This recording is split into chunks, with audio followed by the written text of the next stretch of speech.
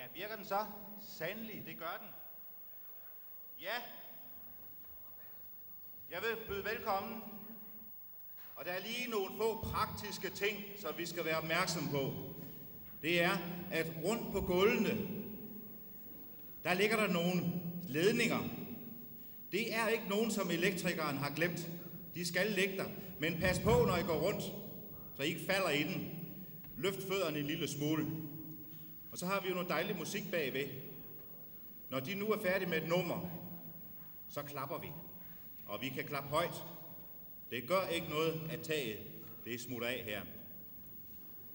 Samtidig så vil jeg på festudvalgets vegne byde velkommen til den her aften.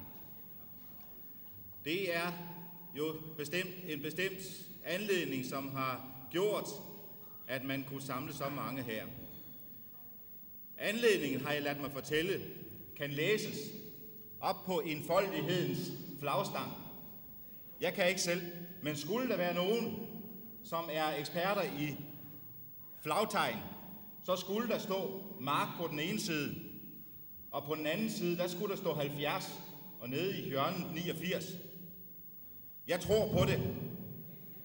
Skulle det være rigtigt, så er det jo helt fint.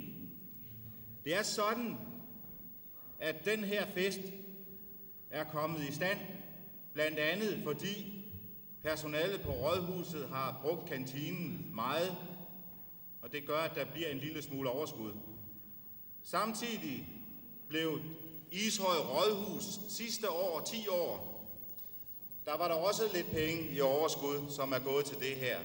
Og endelig, så har byrådet spyttet lidt i kassen også, sådan at det er givet mulighed for at festliggøre den her dag, hvor en af rådhusets markante skikkelser gennem mange år, helt præcis er det 29, har taget en beslutning om at slå sine folder i blandt pensionisterne fremover. Og det er meget glædeligt, at så mange har fundet anledning til at komme i Ishøj Idrætscenter for at være med til at hylde Mark for den tid, han har været her, og give ham et godt håb om, at en fremtid blandt pensionisterne heller ikke er at foragte.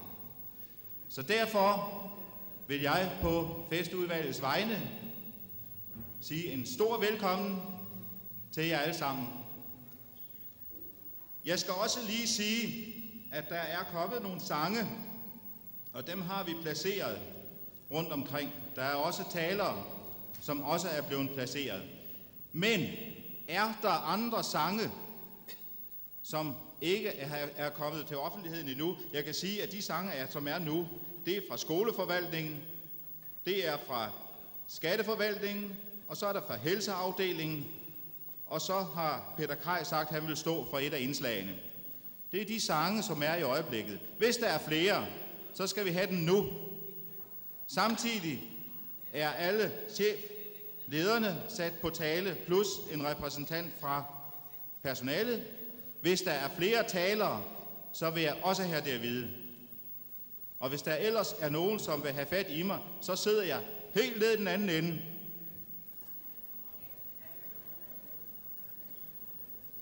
Det skulle være mine ord, og der skulle ligge en sang, som hedder Velkomstsang. Og den håber jeg, vi er klar til at begynde at synge med på. Musikken er klar. Godt, så starter vi.